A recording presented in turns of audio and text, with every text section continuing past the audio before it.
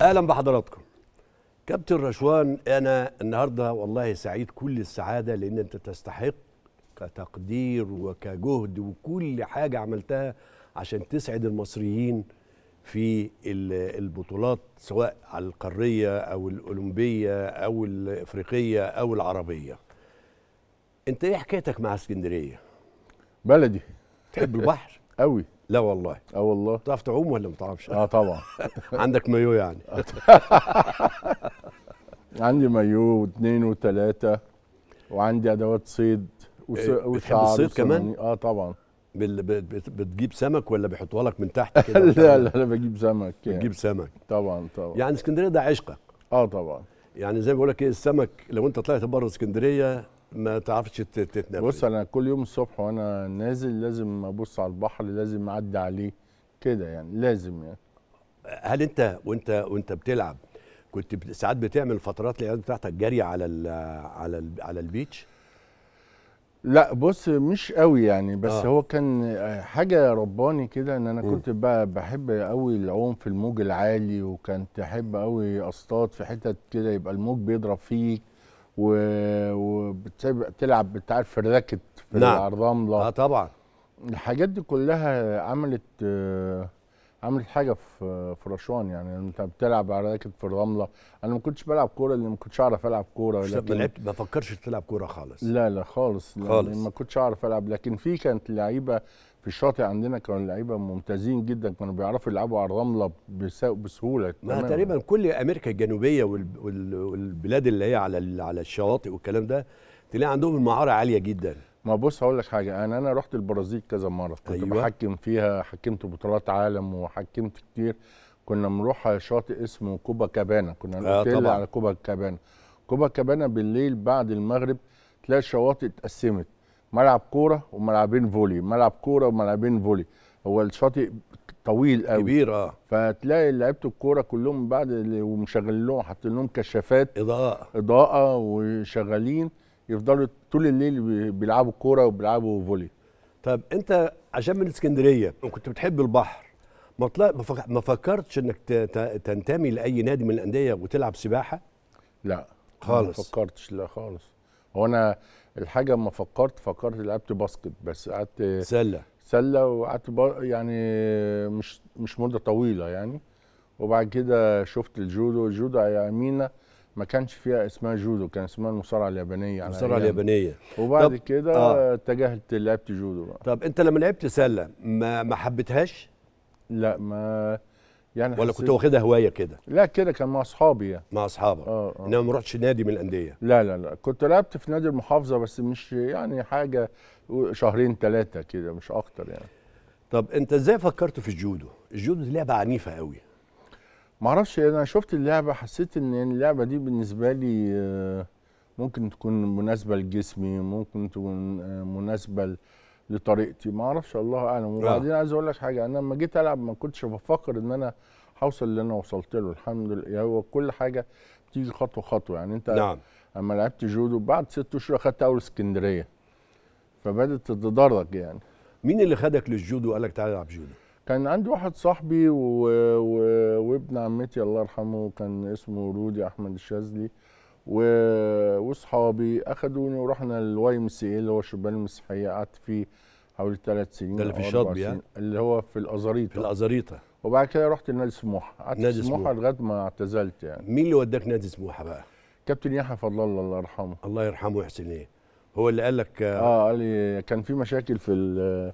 في ال Y وبعد كده رحت سموحة ولا قال لي تعالى طب سموحه ما اسكندرية كان فيها سموحة فيها سبورتنج وفيها الاتحاد وفيها حاجات كده. بس كان سموحة كان في فرقة كويسة قوي يعني. آه. وكنت أنا في الوقت ده بروح أتمرن مع بروح أتمرن مع فرقة سموحة. فرقة سموحة. كان عندي عندهم نادي. فرقة. آه كان عندهم فرقة كويسة. وكان عندهم أسامي موجودة في ال آه كان عندهم أسامي كويسة. كان في كابتن عبد الرب الله يرحمه. في الأسامي كتيرة يعني. أنت لما رحت ولعبت واخترت خلاص انت اخترت الجودو انت إيه اللي دار في ذهنك بعد كده؟ هل انت دار في ذهنك ان أنا هكمل في مشواري مع الجودو ولا ممكن اسيب الجودو واخش حاجة تانية؟ لا ما فكرتش أنا أروح حاجة, تانية. يعني. م. كان في مثلا جت فرصة قال لك انت جسمك حلو ممكن تلعب handball بس قلت لهم لا أنا هلعب جودو. قالوا لك كده. آه آه أنت عارف ساعات بيبقى في مدربين بيروحوا المدارس يشوفوا الأندية، بيكتشفوا. يقول لك تعالى أنت جسمك حلو تلعب handball بس عايز أقول لك حاجة هو الجودو عندي اختلف في نقطة معينة. آه. أما رحت سافرت بطولة العالم أول بطولة عالم مصر تسافر فيها كانت آه، في باريس 79 ديسمبر 79. 79 أيوه. أنا أول مرة فريق مصر يشترك. كنا إحنا ثلاثة أنا ومحمد سبيع و... ونبيل مليك. إحنا الثلاثه رحنا بطولة العالم. أنا يوميها خدت الثالث ع... خمس عالم. خامس عالم. في أول تجربة ليك. في أول تجربة ليا. وفي الماتش معين ده هو اللي خلاني كملت لغاية الآخر. يعني يعني الماتش ده لو أنا ما خدتش مثلا خمس عالم أو ما لعبتش الماتش ده أو ما كسبتش يمكن ما كنتش كملت. كنتش كملت. إنما ده كنت رحت اتجاه تاني يعني. خالص. إيه إيه الاتجاه التاني اللي كنت ممكن تفكر فيه؟ لا يعني كنت ممكن أكون أبطل مثلا. تبطل. لكن الماتش ده بالذات يعني أنا أول يوم لعبت أنا بلعب بموازنين تقيل ومفتوح على. أيامنا دلوقتي ما بقاش فيه تقيل مفتوح. كام كيلو مثلا؟ اللي هو كان أياميها فوق ال 95 دلوقتي بقى فوق ال 100 فوق ال 100 والمفتوح؟ والمفتوح ده كان بيلعب من ال من التسعة و دلوقتي بقى ال 81 بس ما بقاش فيه مفتوح دلوقتي. أنا 90 على كيلو تحطني كان- في أي وزن. كام؟ 90 آه هو في 90 دلوقتي. يعني ممكن أخش. أنت عارف إن أنا لعبت اللعبة دي وإحنا في كلية تربية رياضية. في آه. الهرم. وحبيت اول المصارعة الرومانية في الأول. أيوه أيوه. وبعد كده جم قالوا لي مش عارف المايو بتاعها بالحمالات ده وبتاع ده والكلام بتاع ده. المصارعة إحنا عندنا ده بدلة بقى. ما لا إحنا كانوا بيلبسونا الأول ما كانش لسه البدلة دي جت آه مصر. آه. وبخش مع زميلي في البتاع ده وقام شايلني وهابدني في الأرض. قلت لهم لكم لا عاوز ألعب جودو ولا عاوز أشوف الجودو ولا عاوز أفكر في الجودو خالص. فلا هي هي لعبة عنيفة. لا بص أقول لك حاجة. أنت بدايتك لازم أي مدرب. المفروض يعلم الولاد السقطات. انت اللي هو التكنيك بقى بتاع لا إزاي تقع؟ آه. ده أهم أهم حاجة في الجودو. ده كنت بقى زي الطوب أنا. لا لا لازم تعرف إزاي تقع إزاي تتر... تترمى. آه. ده أهم حاجة إنك أنت لو ما اترميت بطريقة مختلفة ممكن تنصاب. لكن في ناس بتقع من مس... يعني يعني عاوز أقول لك حاجة لو لعيب جودو مثلا كويس بيترمى كويس قوي عادي يعني. آه. لكن مثلا أنت في ناس مثلا عملت حوادث مثلا راكب موتوسيكل لو انت بتاخد السقطة انت ممكن تتفادى وتاخد السقطة و ما الواحد بقى ما بيفكرش ساعتها بقى يعني يعني آه. في ناس في ناس في اليابان حصل نفس القصة مع اليابانيين أخذ السقطة وكان طب هي ليها سقطة معانا اللي هي بتاعت الكتف وتنزل هو وتلف؟ كذا حاجة في آه. بالجنب اليمين والجنب الشمال آه وعلى الظهر وبعدين في اللي هي المرمى والكيم اللي هي ال- الأمامية ده كلها حاجات سهلة كلها حاجات سهلة نقعد أنا وانت ون- ونظبطها بره بعد الحلقة طيب انت بقى قلت لي حسيت خلاص بقى اللي انت حبيته الجودو دي بعد ما خدت خامس عالم. آه. اللعيبة اللي كانوا موجودين معاك حد فيهم خد مركز من المراكز ولا؟ لا لا, لا. انت بس الوحيد اللي آه خدتها. الوحيد. كانت بالنسبة لك أول مرة حاجة غريبة جدا وبطولة عالمية زي بطولة العالم ديت في فرنسا إنك تحقق فيها إنجاز زي الإنجاز الخامس؟ كان بالنسبة لي حاجة كبيرة يعني. حاجة كبيرة. بس هي عايز أقول لك هي ليها قصة صغيرة عايز ما اقولها أنا لك. عاوزك بقى تطلع اللي جواك. بص أنا في أول يوم الوزن التقيل أنا لعبت وخسرت لعبت مع لاعب آه، روسي كان طويل أطول مني بكتير آه. آه. وخسرت وبعدين لعبت في المفتوح مع لاعب اسمه إندو ده بطل عالم ياباني فخسرت آه. منه فالمفروض اللعيبة اللي بتخسر منه لما يوصل هو أول مجموعة فاللعيبة اللي بتخسر منه بيلعبوا مع بعض عشان يوصلوا للبرونز أيوه فأنا كان دوري ألعب مع واحد كوري.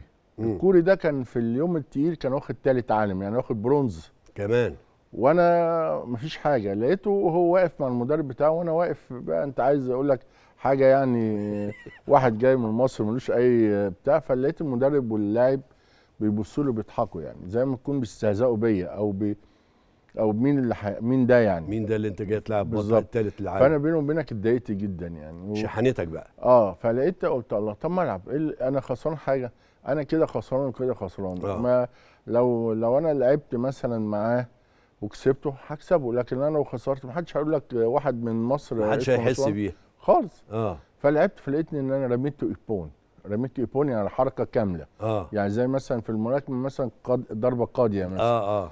فالناس أنا بالنسبة لي حصل عندي أنت عارف بقى روح عالية جدا. عندك طبعا. ولا الماتش التاني كسبته التالت كسبته. خلاص خدت ال power بقى. آه بالظبط. لعبت بقى الماتش على التالت والخامس كان مع اللاعب فرنساوي بطل العالم واولمبياد خسرت منه بنقطة بسيطة واخدت خامس عالم. من يوميها بقى بدأ مشواري بقى. كملت. من من اللي أنا بلعب مثلا ال- الخامس؟ من لا من بطل الجمهورية لبطل خامس عالم. لأن أنا ما كنتش لعبت حتى بطولة أفريقيا. أنا أول بطولة قوية لعبتها هي بطولة عالم. كانت بالنسبة لك غريبة. آه طبعا. طيب عايز بقى